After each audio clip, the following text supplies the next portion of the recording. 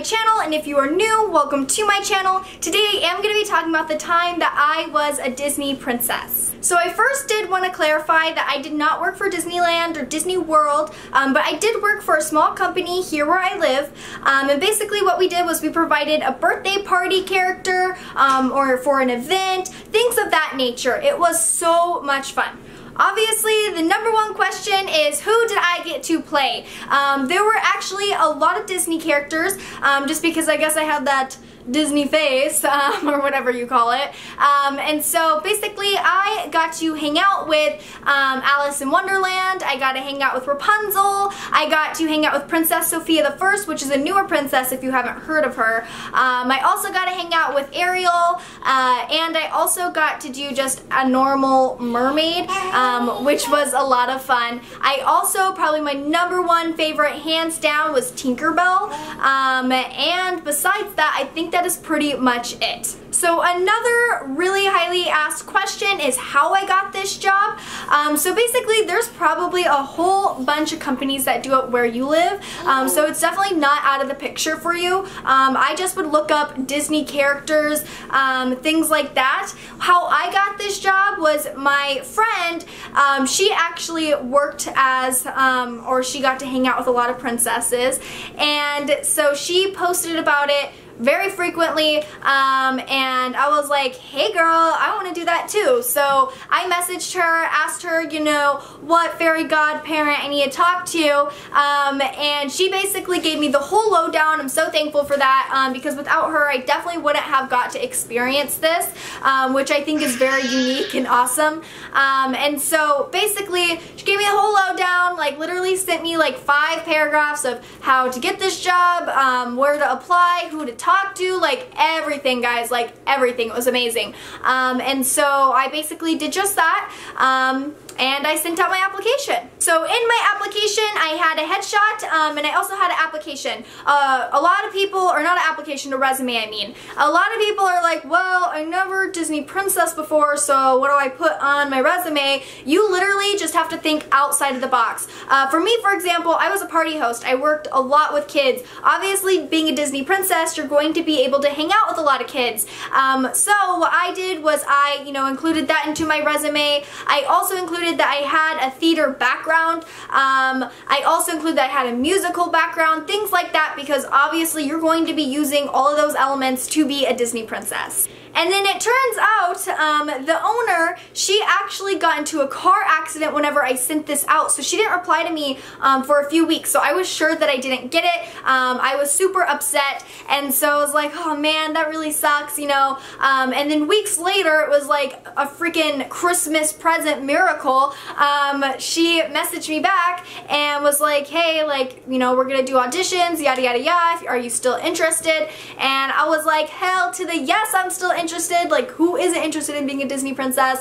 Um, so yeah, um, I basically went out and I auditioned. There were two other girls that were auditioning with me, and we actually all three got the part, so that was awesome. We all three out, I think, or no, we didn't all try out for a different princess. Um, two of us uh, tried out for Elsa, and then I think one tried out for Ariel. Um, I'm not too sure. I don't really remember because it was definitely over a year ago. Um, but um, yeah, so I tried out for Elsa, which is really funny because a lot of you actually message or comment on my videos that I look like Elsa and that I must have played her and yada yada yada, which is funny because I didn't play Elsa and I'll get more into it why. Um, but yeah, so I did try out as Elsa. Um, basically, the interview process was, you know, fairly easy and fun. Um, instead of asking questions like, why do you want to work here? And, you know, what, what are your strengths and stuff like that, like a typical interview, um, they asked a lot of Disney questions. Um, they asked basically, it was more so, um, they gave us a scenario of like, you know, if a kid asked you this, this, and this, how would you reply? And things like that. Um, so that really consumed a lot of the interview. Another part was just talking about yourself, seeing how outgoing you are. Um, and then of course we had to sing. Uh, so I sung Let It Go by Elsa. Um, and it was a lot of fun. I was so nervous though. I seriously was like shaking. Um, and then the other girl as well, she, um, I don't know if she sung Let It Go. I think she did, but it was like a different part. By the way, my son is in here, so you can definitely hear him. He's over there playing. Um, but yeah, anyway, so I think we both sung Let It Go, and we just both did like different like parts of it um, and it was just super nerve-wracking but we both did it um, and yeah so after that, I think it was the next day that she reached out to us because we all um, ended up, I think, texting or something like that. So we all knew. Um, do we get our phone numbers after? I don't remember, but I remember we all knew. Um, but yeah, so basically she reached out to us, told us that, you know, we all got it and that our first gig was like ASAP. It was seriously like, I think two days after or something like that. So there's like no room for preparation. Um, I actually got to hang out with Rapunzel. That was the very first princess that I ever got to do. Um, and I believe the other girls got Cinderella and I think the other girl played like an assistant uh, for her first time. And so yeah, it was a lot of fun. We got to meet, um, well basically we got to do a volunteer event um, because we did a lot of those and we basically got to meet a lot of kids and let me tell you guys, it was seriously the most fun I've ever had. So I think something I most definitely did not take into consideration is how much preparation it takes to get a princess-fied. It takes a long time. Um, it probably took me, oh man, you going ham over there, Greyson? it probably took me four or five hours just to get ready um, and that's including everything. So that's doing makeup which probably took me two hours to do um, because when I tell you guys you have to look right down to the eyebrow of that princess, you have to look right down to the eyebrow of that princess. It's not your everyday makeup look, it is full blown. Um, so we're talking setting spray, we're talking setting powder too. Um, we want the whole shebang, we want those fake eyelashes, everything. Um, so it does take a long time. It's like getting ready for prom every day. Um, so um, outside of that, there also is, of course, wigs. So we did wig caps, um, and basically, before the wig, wig cap, you have to do pin rolls. Um, so that's where you take your individual hair, roll it up, um, and bobby pin the crap out of it. And guys, when I tell you bobby pins are your best friend, they are your BFF for life, um, because it is so important that your hair, obviously, stays up and away from your face and in that wig. Um, so you bobby pin the crap out of your hair. So me, for example, um, I have thin hair, so it is easier to work with. However, I have a lot of it. So those pin curls, I probably had maybe like I want to say like 40 in my hair. I may be exaggerating. Um, but yeah, by the way, sorry for all the noise in the background. He's playing with his toys right now. Um, and he's trying to be the loudest possible, of course, because I'm doing a video. and then something that not everybody had to deal with, but I did particularly, were tattoos and covering them up. So Disney, unfortunately, hasn't made a badass princess yet, uh, like a rebel princess or anything like that. So I did have to cover up my tattoos, and it was a process. I didn't um, have Kat Von D's like tattoo cover up, or I know there's like another one out there that like covers them really well. Um, so what I did was I had to use YouTube, my trusty pal, um, and basically look up how to cover these black things all over my body. Um, so what I would do was I use pink powder, um, or pink eyeshadow, my bad, um, because I, my skin is more of a pinky tone than a yellow tone um, or orange tone or anything like that. So I use pink and basically I would do the eyeshadow, put that over, you would hairspray it, and then you would put foundation over that and then you would do it again. So you would hairspray it, then you would take pink foundation or pink pink foundation, oh my god. Take pink uh, what is it called, eyeshadow. Put that on and, you know, basically repeat those steps until it is gone and then you fix it with some concealer um, and then, of course, setting spray. And if you are mermaiding, you would do, um, what is it called? I used to remember because um, I used it a lot, but it's like aqua proof or something like that. And basically, it's a waterproof makeup cover-up, um, you know, that way. Go in the water. Um, but yeah, so that definitely was a process. That alone probably took an hour because I think at the time I had five or six tattoos. Um, and so they were like more small, especially the one on um, the one on my rib cage never really was shown as much, so I didn't necessarily have to, you know, obviously cover it because it's covered by a dress unless I was mermaiding. And then, of course, you have the dress. So it's not just wearing a dress and boom, you're done. You have to wear basically, um, what we did was we had to wear a corset. Um, I don't know if I'm saying that correctly. I know it's like a corset or I call it a corset and I get made fun of, but that's just how I that's what I grew up knowing it as. So it's corset in my book. Um, but yeah, so you have to wear a corset. You have to wear a nude bra. It has to be strapless. Um, and then you have to wear uh, like Spanx. So you have to wear um, like nude shorts basically under. Um, so that way it gives you that Barbie look in case any kids, you know, try to peekaboo, but you are all covered. Um, and so that's basically like the underwear and then you wear, um, man, what is it called? A, hmm, I can't think of what it's called right now, guys. I'm having like a major blank.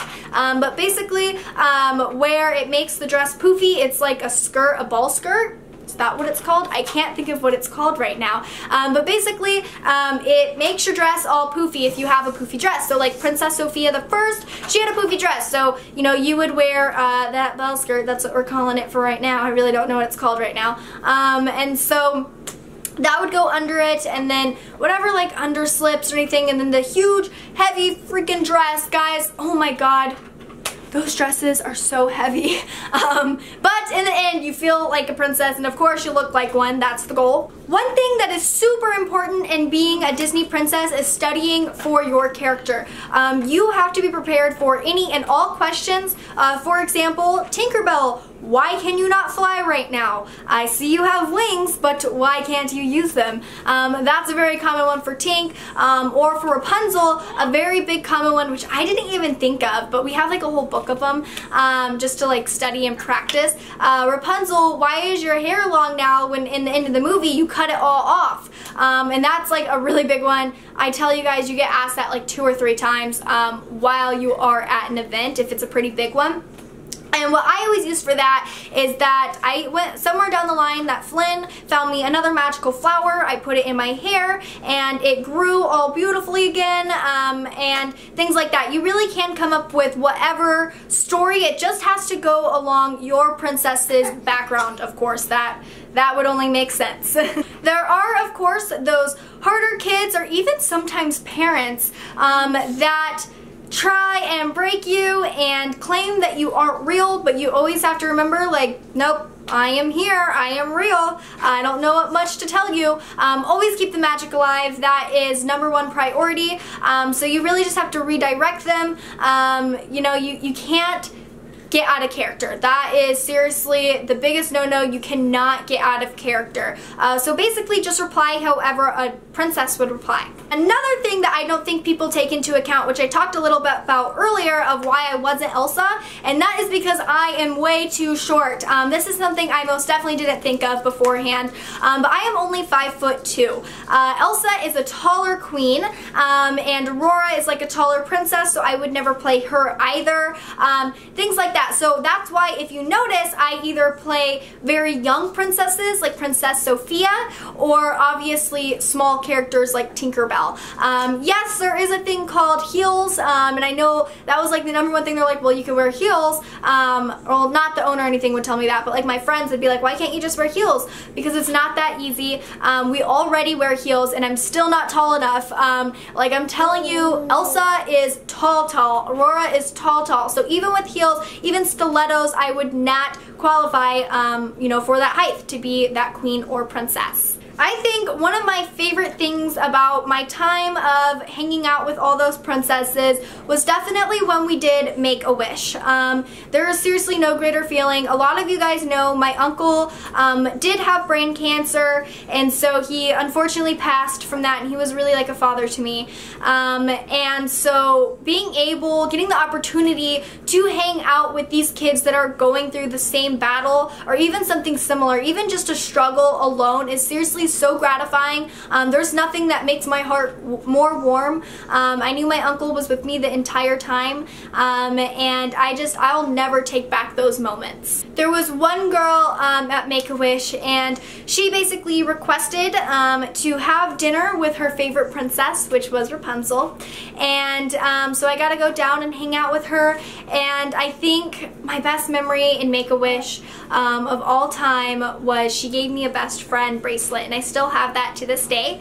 Um, and I hope she still has hers because we definitely, her and Rapunzel are best friends for life a lot of other Make-A-Wish opportunities which we got to do um, were basically present to these kids, you know, that have gone through hell and back, uh, that they get to go to Disneyland or Disney World, um, you know, the happiest place ever, um, and they really just get to be happy. Uh, so that is, you know, what else we got to do with Make-A-Wish, and it was, it was really awesome. So yeah, besides all of this, I really can't think of much more to add, so I am going to be doing a Q&A so that way you guys could ask me questions, seriously ask me any anything, as long as it doesn't ruin the magic or anything like that, um, I will be, you know, more than happy to answer. So I am going to be doing a Q&A. So leave all your questions right down below, um, and I will get on that video as soon as possible. But besides that, I hope you guys have a great rest of your day, um, and I hope you like, subscribe this video, um, and yeah, have a great one, guys. Bye.